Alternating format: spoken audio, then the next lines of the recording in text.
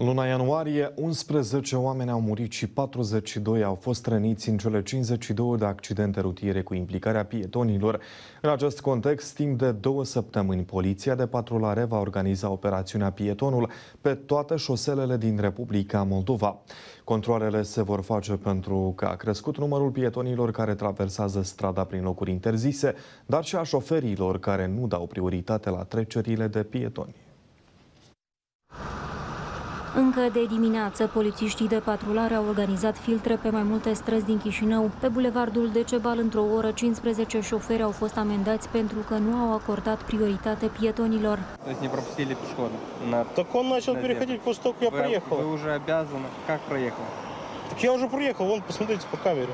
Revoltat de sancțiune, bărbatul a început să se dea în spectacol și a spus că va contesta amenda de 1500 de lei în instanță. Polițiștii au confirmat că nu e la prima abatere. Anterior mai, a- am mai avut șase puncte de penalizare în baza de date, eh, ambele pe viteză, în total 11 puncte la moment are. Dacă persoana acumulează 15 puncte, se ridic permisul. Cu amendă s-a ales și un angajat al primăriei Chișinău care conducea un excavator. Amenda minimală e 1500, matale dacă recunoști vina, din jumătate. O recunoaște, da, da.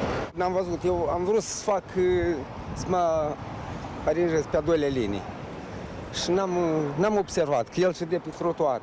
Mulți conducători auto dau vina pe pietoni și spun că aceștia nu se asigură la traversarea străzii și apar brusc pe trecerile pietonale.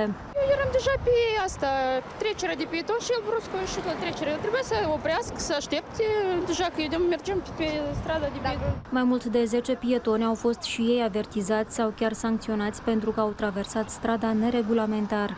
Eu nu vreau să vă răspund.